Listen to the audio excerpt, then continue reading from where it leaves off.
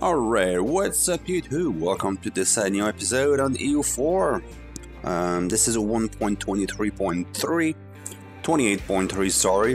This is slightly important for one thing uh, that we did along the way. Um, but yeah, uh, Roman Empire guys, uh, we formed it as Brandenburg.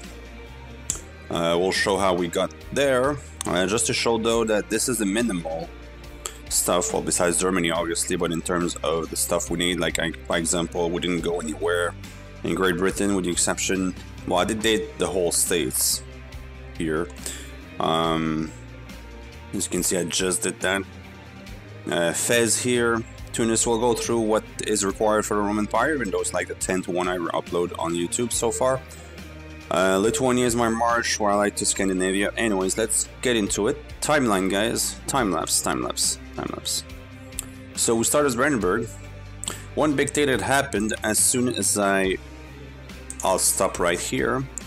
So for those who played Brandenburg a few times will know that if uh, Force Teutonic Order starts with Neumark, but then you get an event eventually that the Teutonic Order will sell you Neumark for 100 ducats It can take a while, and because now Teutonic Order is extremely on a timer due to the event for Danzig, it might just not happen.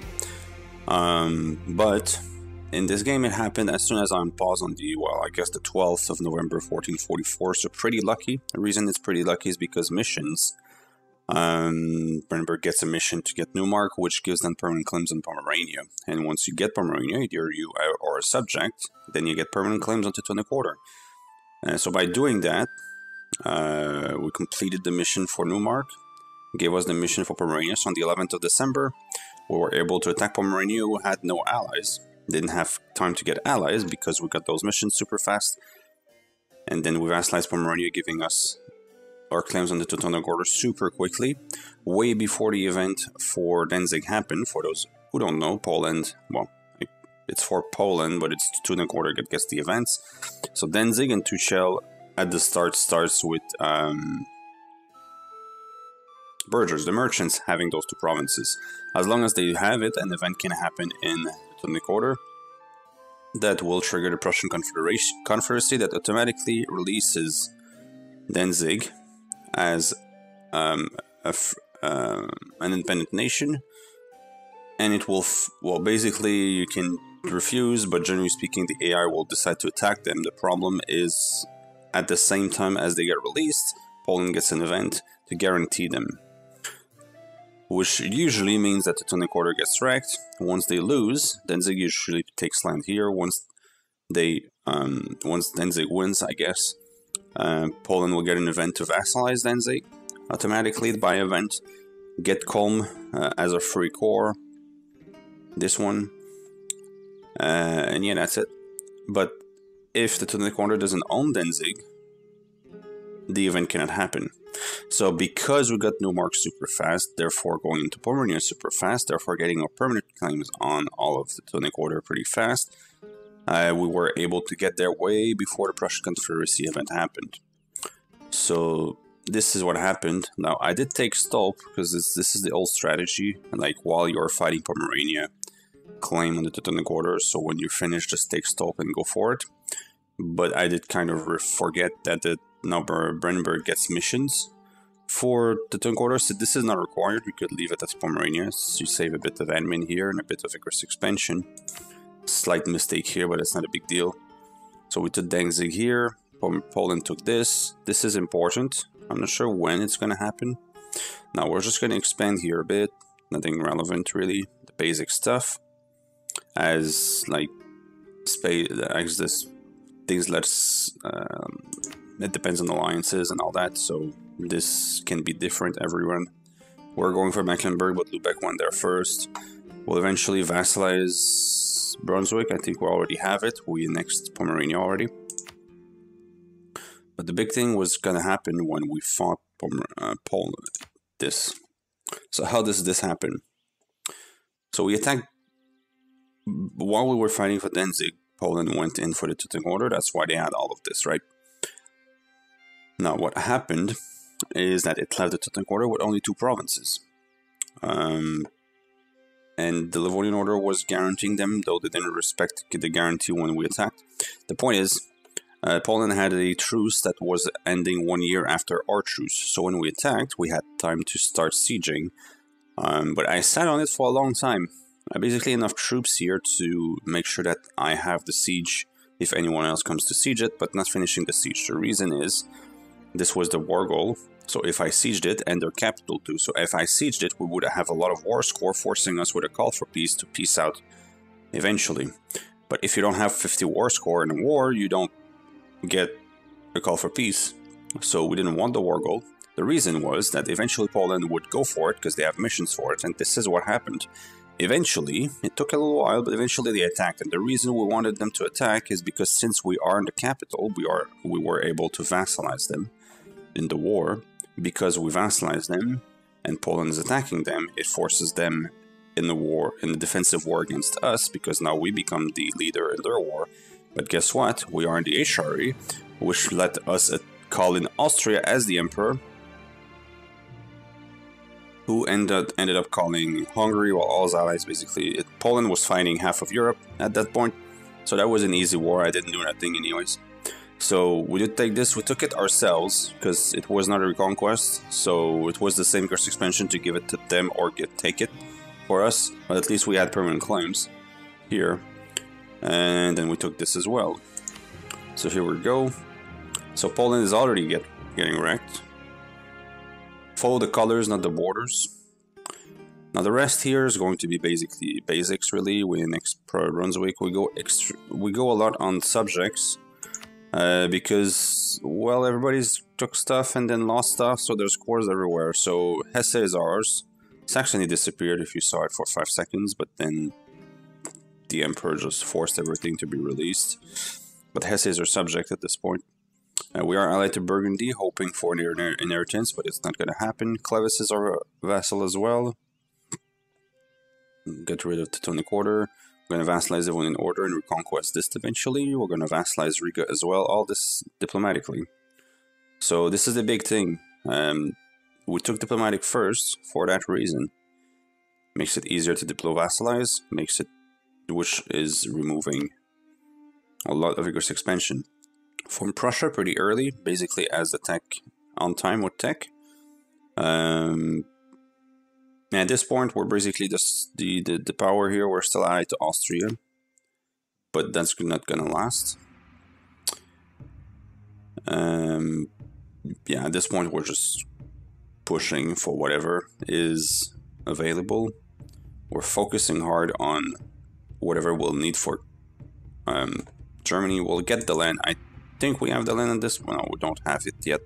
But we'll have the land like 50, 60 years before we can do form Germany because Germany requires Tech 20. Now, the big thing about, uh, as I said at the start of the video, 28.3 made a, a, a change that is quite important here. It's not exactly relevant because Germany doesn't give you anything special except, well, permanent claims on all of Germany, so South and North Germany, so depending on what you got when you got there could be useful, but we had basically all of Germany already. But the point is, um, Sin, my cat is sorry. In the past, well, the Prussian monarchy, right?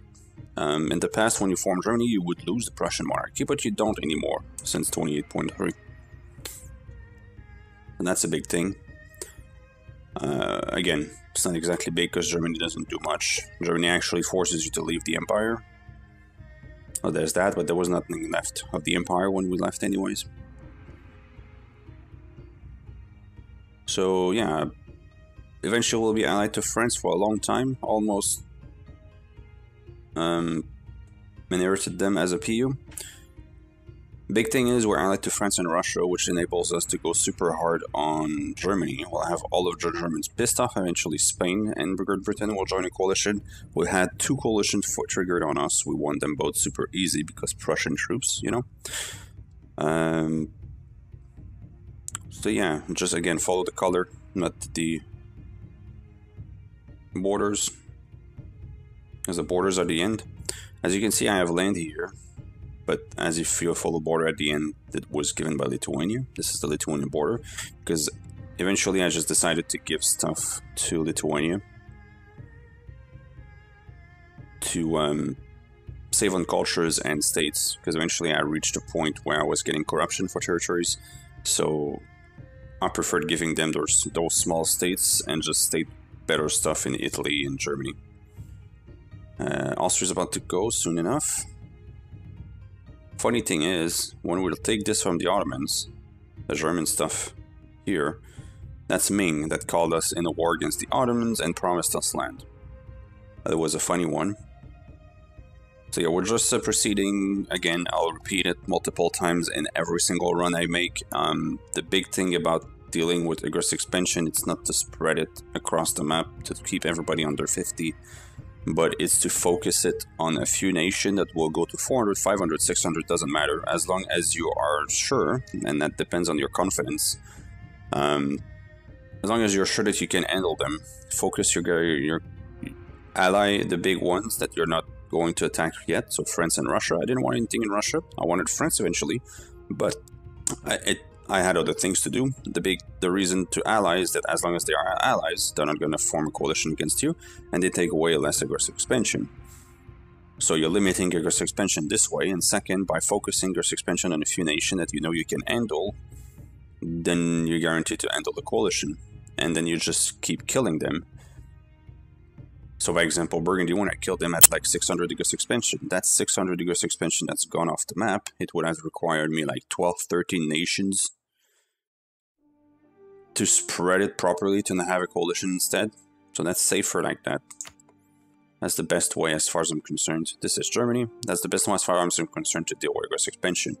And so eventually we had no aggressive expansion left because all of the Germans and these guys were gone. So we'll start going in Italy. Great Britain will start being an annoyance by guaranteeing everything we touch. Um, also, you had like 250 heavies by the end.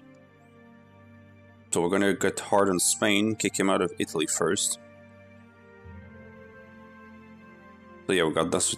Again, when this got away from the Ottomans, it's Ming that we were allied to Ming and they called us. That was funny. So Burgundy is gone, Brittany is gone.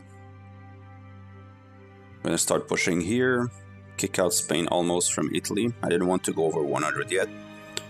You can remove uh, Venice. At this point, there's only Spain and Great Britain that's left that has a aggressive expansion, and they're not enough, so we're not getting coalitions anymore. So we're gonna abuse France. So we're starting client states here. So kicked out the Ottomans out of the Balkans.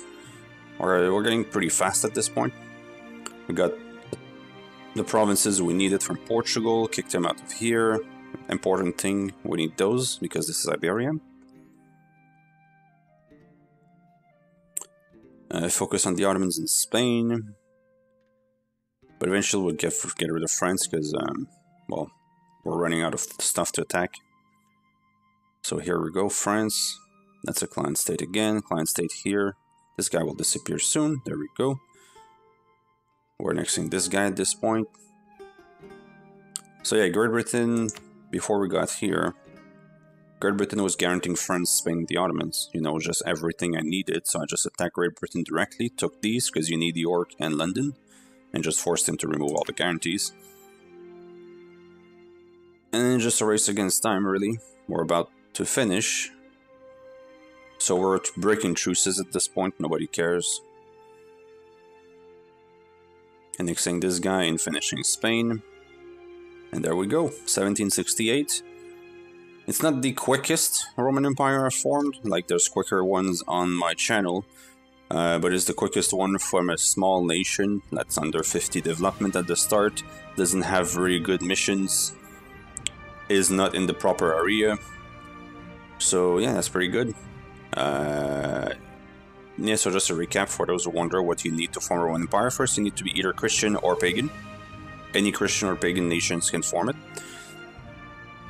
And you need all of Iberia. Again, this is Iberia, so don't forget this. You need all of France. France is straightforward. All of Italy, this is straightforward as well. All of the Balkans, now the Balkans, this is the Balkans as well. Anatolia, Cyprus is in Anatolia. The Mashriq Let's just get out of this. the Mashriq is all down here with Iraq down to Palestine. And then there's a few specific provinces that you need, which is Fez. You don't need these two, but like unless you take it in the last age, you'll need these to core Fez anyways. So we took these. Um, you need Tunis, just the province. You need Cairo. Again, we pushed it a bit, pushed in a bit more just to be able to core it. You need Zealand. This we got pretty early, so whatever. And then you need London and York against York. That's funny, this one was renamed, but not these. Okay. So yeah, that's all you need. Um, if you want to keep playing as Roman Empire, keep in mind that when you form Roman Empire, you're forced into another culture, which will change your main culture. So only your main culture, so in our case it's crap. And it's in the Lost Culture group, which has nothing in it that is in the game. These are cultures that existed before this timeline, like Roman. So yeah, it's a pretty bad thing because you lose your cultural union basically. So you have a bunch of Germans here. So this is bad unless you culture converted a lot because it converts all your main cultures. So this is Prussians. So yeah, there you go, guys. Um, there's going to be the full run, put in the highlights of 45 to 1 hour, 45 minutes to 1 hour. It's going to take me a few days to highlight it properly. Uh, but I wanted to give you that uh, for those who watched it here and there on YouTube. This is the full run, well, the time lapse of the full run. We're not going to finish it. We're going to start something new. The next run. Thanks for watching, guys. Have a good one. Bye bye.